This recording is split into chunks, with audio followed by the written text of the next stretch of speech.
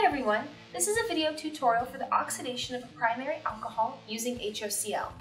So if we take a look at the general setup here, we're going to take our primary alcohol and we're going to react it with sodium hypochlorite and acetic acid. You'll notice there's no HOCl written over that arrow, and that's because HOCl is really unstable. So we're going to use these two reagents here in order to make HOCl in situ. When this reaction happens, we're going to form an aldehyde. Let's take a look at the mechanism. So over here we have our primary alcohol. As always, the first step is to activate that OH group so that we're able to react with it later.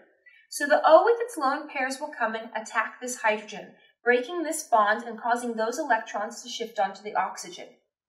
Once we've formed our protonated alcohol group, we're ready for an SN2 reaction.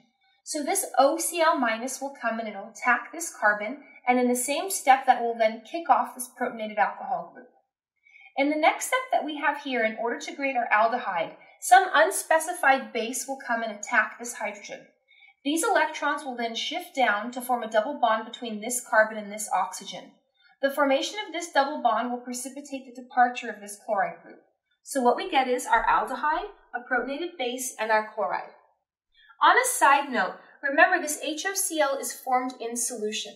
So what happens is our hypochlorite group will come and steal hydrogen off of the acetic acid.